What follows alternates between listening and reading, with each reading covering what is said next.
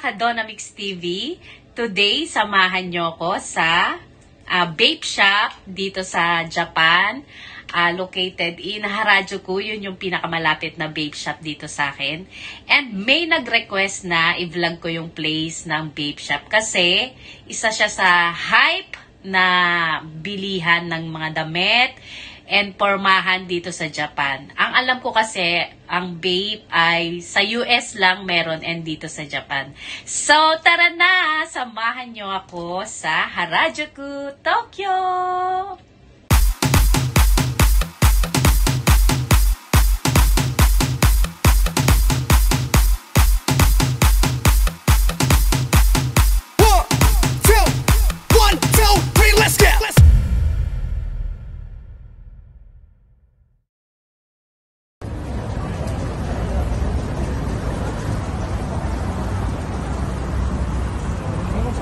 Hindi masyadong marami ang tao ngayon.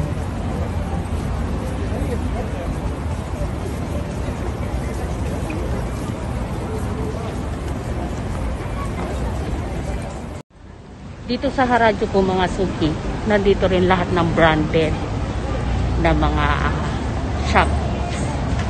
Yan, dito si Tommy. Lahat ng mga mamahaling branded from Europe nandito rin sila nakahilera. Yan si Longchamp so tara let's! So nandito rin ang mga Atmos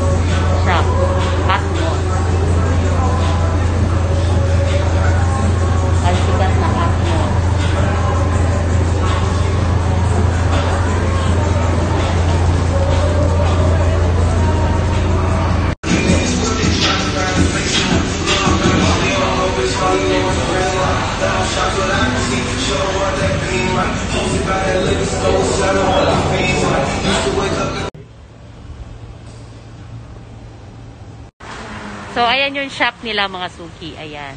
Dito sa Harajuku. The Vape Shop. Ayan. Sa mga gustong pumunta dito, dito nyo siya matatagpuan sa Harajuku. Let's go!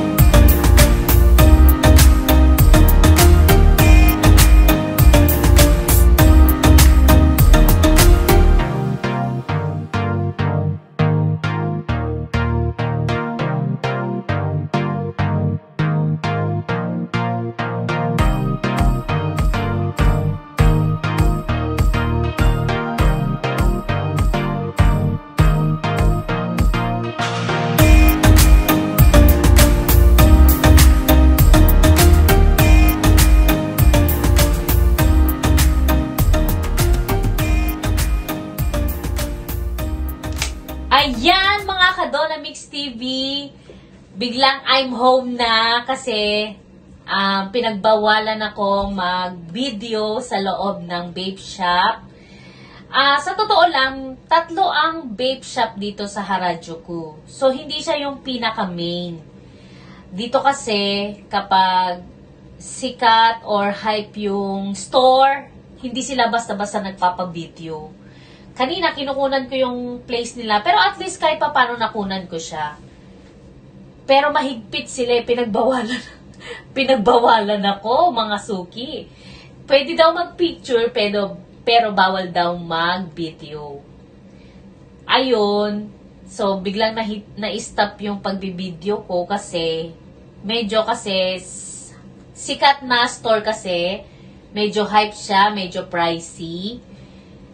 Siguro iniiwasan nila merong mag-copy or merong mag-fake. Kaya ayun, hindi ko natapos yung vlog. Pero at least kahit pa paano napakita ko. Pero ang sabi nila, hindi pa raw yun yung pinaka-main vape store dito sa Japan. So, sa nag-request na ito, kapag nagkaroon ako ng time, kukunan ko yung pinaka-main vape shop dito sa Japan. So, ayan, thank you so much mga ka-Donamix TV. Uh, don't forget to like, uh, subscribe, like, and share this video. Pero at least nakunan ko siya kahit pa paano. Patago nga lang. Yan! Thank you so much for watching my vlogs. Bye-bye mga ka-Donamix TV. Mwah!